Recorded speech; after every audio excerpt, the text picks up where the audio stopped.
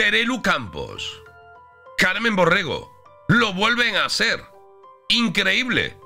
Pero cierto, te lo voy a contar. Yo no me lo puedo imaginar.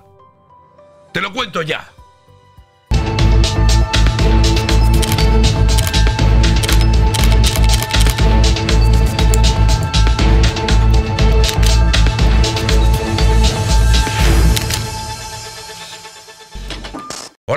Muy buenos días amigos. Primera hora de la mañana de hoy, viernes, día 12 de abril.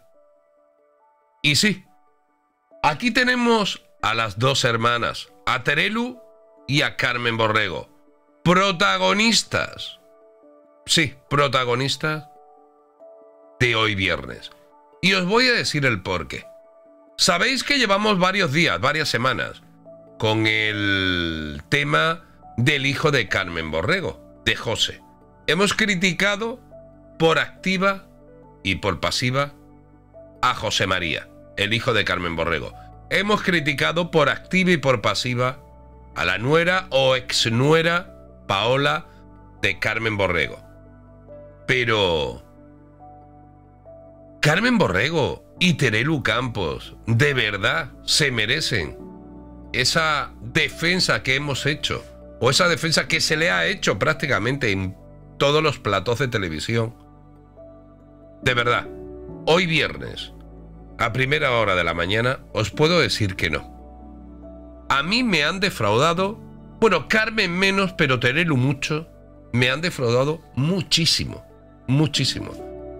Os lo voy a contar todo, os voy a decir eh, cosas que no sabéis, pero antes de nada, os quiero recordar que si no estáis suscritos a este canal lo podéis hacer. Es totalmente gratuito. Recuerda la pestañita de suscribirte, te suscribes seguidamente.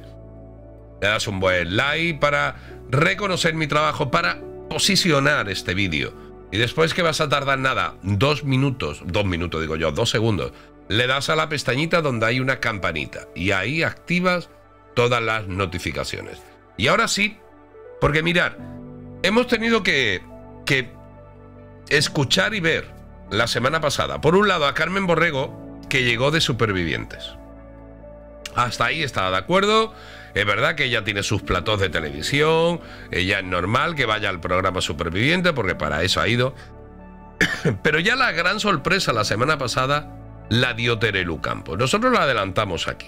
Terelu Campos reapareció en Telecinco en el programa de viernes. Hablando de todo este tema, de su sobrino, de su hermana. Ya realmente ese, ese momento no lo entendí muy bien. Pero bueno, al final, oye, a nadie le amarga un dulce, ¿no? Y es verdad, oye, si le dan un dinero, tal, oye, pues mira, que se siente en un programa.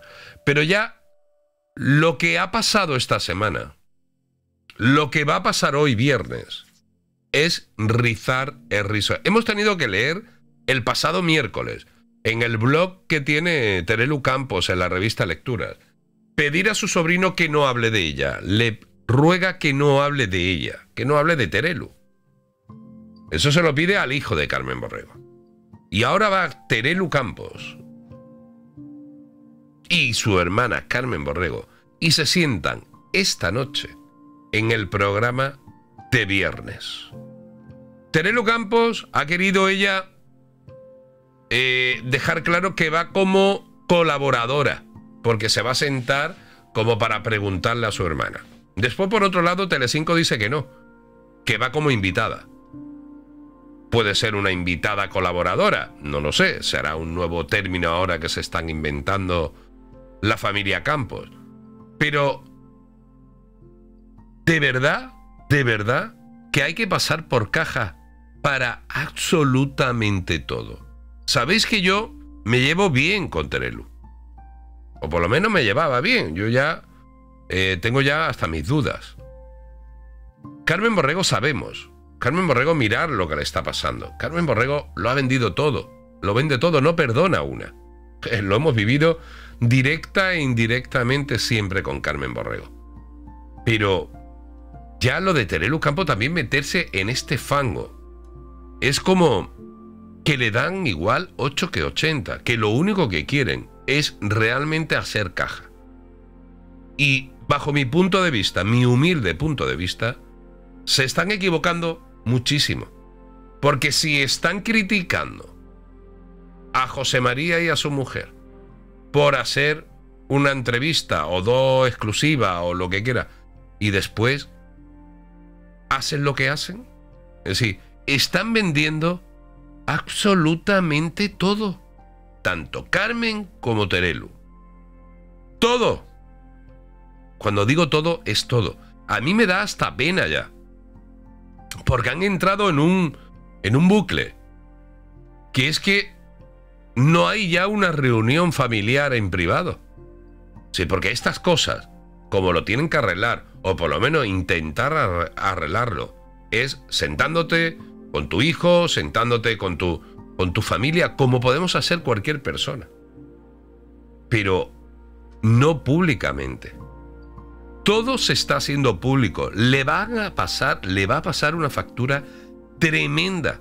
Aunque se crea Terelu que no, aunque se crea Carmen Borrego que no.